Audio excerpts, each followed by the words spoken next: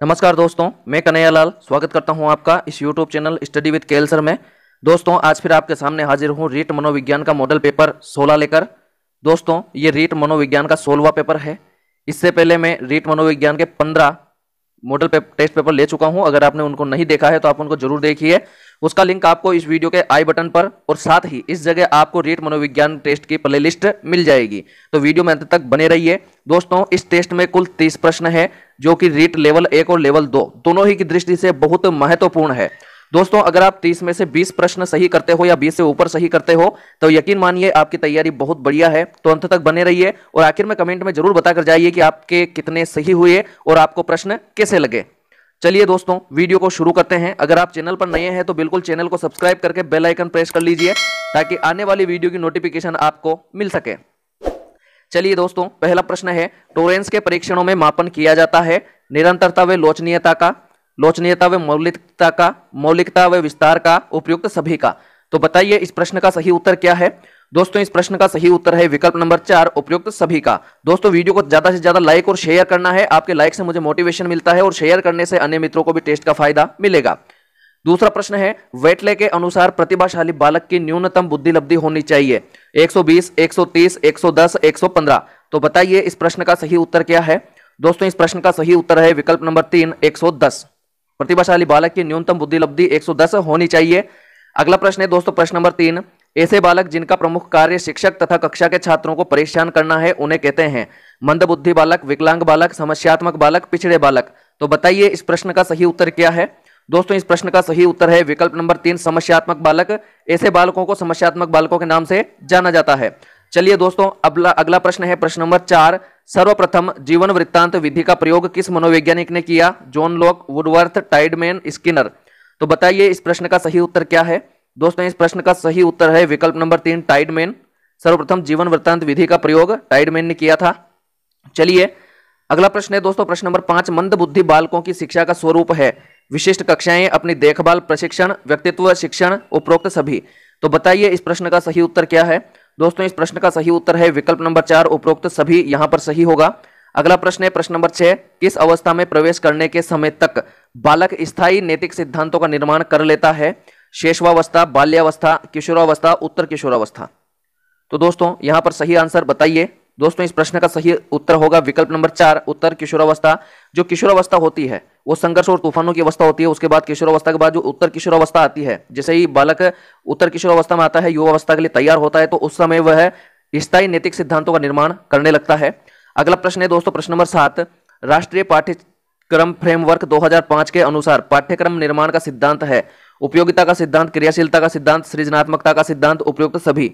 तो बताइए इस प्रश्न का सही उत्तर क्या है? दोस्तों, इस प्रश्न का सही उत्तर है विकल्प नंबर चार, उपयुक्त सभी।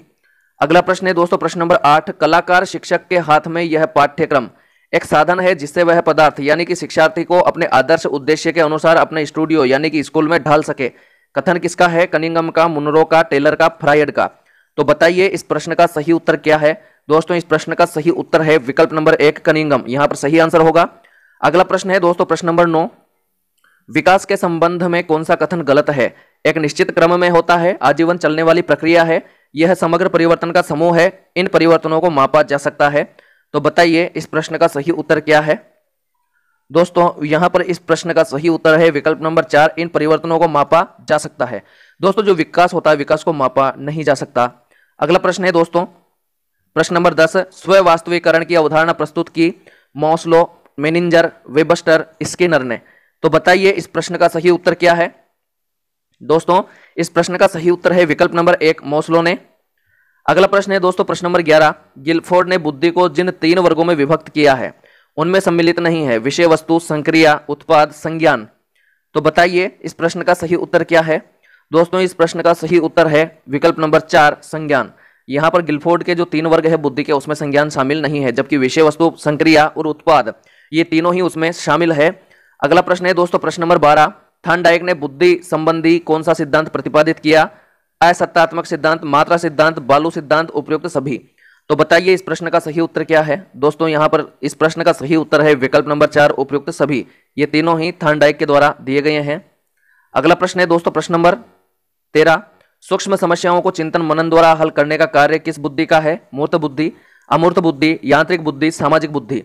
तो बताइए इस प्रश्न का सही उत्तर क्या है? दोस्तों, इस प्रश्न का सही उत्तर है विकल्प नंबर दो, अमूर्त बुद्धि। सूक्ष्म समस्याओं को चिंतन मनन द्वारा हल करने का जो कार्य है, वो अमूर्त बुद्धि के द्वारा किया जाता है, यानी चिंतन मनन का कार्य, अमूर्त बुद्धि का। अगला प्रश्न है दोस्तों, प्रश्न नंबर चार, क्रियात्मक अनुसंधान में परिणामों का प्रयोग करता होता है। शोधकर्ता, पर्यवेक्षक, प्रधानाध्यापक, विद्यालय के छात्र तो बताइए, इस प्रश्न का सही उत्तर क्या है? दोस्तों, यहाँ पर इस प्रश्न का सही उत्तर है विकल्प नंबर एक, शोधकर्ता। सही आंसर होगा शोधकर्ता। चलिए, अगला प्रश्न है प्रश्न नंबर पंद्रह। क्रियात्मक अनुसंधान का सोपान है। समस्या का चयन, तथ्य संग्रह की विधियाँ, योजना का कार्यान्वयन, उपयुक्त सभी। तो बताइए, इस प्रश्न का सही उत्तर क्या है? दोस्तों, इस प्रश्न का सही उत्तर है विकल्प नंबर चार, उपयुक्त सभी। यहाँ पर सही आंसर होगा। अगला प्रश्न है, प्रश्न नंबर सोलह, शिक्षा का अधिकार है। संवैधानिक, वैधानिक, कानूनी गैर वैधानिक तो बताइए, इस प्रश्न का सही उत्तर क्या है? दोस्तों, इस प्रश्न का सही उत्तर है विकल्प नंबर एक, संवैधानिक। संविधान में जो शिक्षा का अधिकार है, वो मूल अधिकार है। अगला प्रश्न है, प्रश्न नंबर सत्रह। आदत समाज का विशाल चक्र और उसकी परम श्रेष्ठ संरक्षिका है। यह कहा है, रोस्टर ने, क्लेपर ने, जेम्स ने, ड्रेवर ने। तो बताइए, इस प्रश्न का सही उत्तर क्या है? दोस्तों, इस प्रश्न का सही उत्तर है, विकल्प नंबर तीन। जेम्स ने, यहाँ पर सही आंसर होगा विकल्प नंबर तीन। जेम्स, चलिए दोस्तों, अगला प्रश्न है, प्रश्न नंबर 18 शिक्षा का अधिकार कानून 2009 के अनुसार किसी विद्यालय में शिक्षकों के कुल स्वीकृत पद संख्या के 10 प्रतिशत से अधिक रिक्त नहीं होंगे। इसके तहत कक्षा एक से पाँच के विद्यालय में 60 बच्चों तक शिक्षकों की संख्या होनी चाहिए। दो, तीन, चार, पाँच। तो बताइए इस प्रश्न का सही उत्तर क्या है? दोस्तों, इस प्रश्न का सही उत्तर है विकल्प नंबर एक, दो। यहाँ पर सही आंसर होगा। दो, साठ बच्चों पर दो शिक्षक होने चाहिए। अगला प्रश्न है दोस्तों, विकल्प प्रश्न नंबर उन्नीस। शिक्षा का अधिकार कानून। 2009 के तहत पहली से पांचवी कक्षा के लिए कितने कार्य दिवस अनिवार्य है? 220, 170, 200, दो तो बताइए इस प्रश्न का सही उत्तर क्या है? दोस्तों इस प्रश्न का सही उत्तर है विकल्प नंबर तीन 200 एक से पांचवी तक कक्षा के लिए कम से कम 200 कार्य दिवस अनिवार्य हैं। अगला प्रश्न है दोस्तों प्रश्न नंबर 20 राजस्थान में निशुल्क एवं अनिवार्य बाल शिक्षा का अधिकार अधिनियम 2010 लागू किया गया है। इसके तहत कक्षा एक से पाँच तक के बच्चों के लिए कितनी किलोमीटर की पैदल दूरी की सीमा में विद्यालय स्थापित करना अनिवार्य है? एक किलोमीटर दो किलोमीटर, आधा किलोमीटर, चार किलोमीटर। तो बताइए इस प्रश्न का सही उत्तर क्या है? दोस्तों, इस प्रश्न का सही उत्तर है विकल्प नंबर एक एक किलोमीटर। एक से पाँच तक के बच्चों के लिए विद्यालय की जो दूरी है, वो एक किलोमीटर होनी चाहिए। इससे ज़्यादा नहीं होनी चाहिए। अगला प्रश्न है दोस्तों, प्रश्न नंबर 21 सामाजिक व्यवहार के अंतर्गत बालक किस योग्यता को अर्जित करता है? सामाजिक प्रत्याशाओं के अनुरूप व्यवहार करना, सामाजिक प्रतिगमन, प्रभुत्वशाली व्यवहार, सामाजिक सहभागिता। तो बताइए इस प्रश्न का सही उत्तर क्या है? दोस्तों, इस प्रश्न का सही उत्तर है विकल्प नंबर एक, सामाजिक प्रत्याशाओं के अनुसार व्यवहार करना। इस योग्यता को बालक अर्जित करता है। अगला प्रश्न है दोस्तों, प्रश्न नंबर 22 विद्यालय में शिक्षक बालकों के समायोजन के लिए निम्न में से क्या नहीं करेगा? कठोर दंड देकर कार्य करवाना, संवेगात्मक स्थिरता लाने का प्रयास करना, सहानुभूतिपूर्ण व्यवहार करना, व्यक्तिगत शिक्षण की व्यवस्था करना। तो बताइए, इस प्रश्न का सही उत्तर क्या है? दोस्तों, इस प्रश्न का सही उत्तर है विकल्प नंबर एक कठोर दंड देकर कार्य करवाना यहाँ पर सही आंसर होगा। चलिए दोस्तों, अगला प्रश्न है, प्रश्न नंबर तेईस। बाल अपराध का सामाजिक कारण है। जन्मजात संवेगात्मक अस्थिरता, निम्न बुद्धि लब्धि माता पिता का मानसिक असंतुलन, विशेष प्रकार की शारीरिक रचना। तो बताइए, इस प्रश्न का सही उत्तर क्या है? दोस्तों, इस प्रश्न का सही उत्तर है। विकल्प नंबर तीन माता पिता का मानसिक असंतुलन। यहाँ पर एक तरह से सामाजिक कारण है, क्योंकि दोस्तों, अगर माता पिता का संतुलन नहीं होगा मानसिक तो वो अच्छे से उसकी परवरिश नहीं कर पाएँगे, उसको जो वातावरण है वो अच्छा नहीं मिलेगा। तो इस प्रकार से सामाजिक कारण है जो ये बनता है। अब ये है जो ये सामाजिक कारण से संबंधित नहीं है। निम्न बुद्धि, संवेगात्मक स्थिरता ये बालक के व्यक्तिगत मानसिक विकास आदि से संबंधित है, जबकि सामाजिक से संबंधित तीसरा विकल्प है। तो यही अपना सही आंसर होगा। अगला प्रश्न है दोस्तों, प्रश्न नंबर चौबीस। बाल अपराध की वह विधि जिसमें बालक की आवश्यकताओं को ध्यान में रखकर सामाजिक वातावरण में परिवर्तन लाया जाता है, वह है मनोवैज्ञानिक विधि, वातावरण वर्णात्मक विधि, मनोविश्लेषणात्मक विधि, उपयुक्त सभी विधियाँ। तो बताइए, इस प्रश्न का सही उत्तर क्या है? दोस्तों, इस प्रश्न का सही उत्तर है विकल्प नंबर दो, वातावरणात्मक विधि। सामाजिक वातावरण में परिवर्तन लाया जाता है तो विकल्प नंबर दो यहाँ पर सही आंसर होगा। चलिए दोस्तों, अगला प्रश्न है अपने प्रश्न नंबर 25 अधिगम अंतरण के सिद्धांतों में से नहीं है।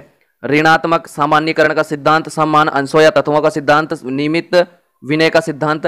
तो बताइए इस प्रश्न का सही उत्तर क्या है? दोस्तों, इस प्रश्न का सही उत्तर है विकल्प नंबर एक, ऋणात्मक। यह अधिगम अंतरण के सिद्धांत में से नहीं है। तो अपना सही आंसर होगा दोस्तों विकल्प नंबर एक। चलिए दोस्तों, अगला प्रश्न है प्रश्न नंबर 26 अंतर्मुखी व्यक्तित्व की विशेषताएँ हैं।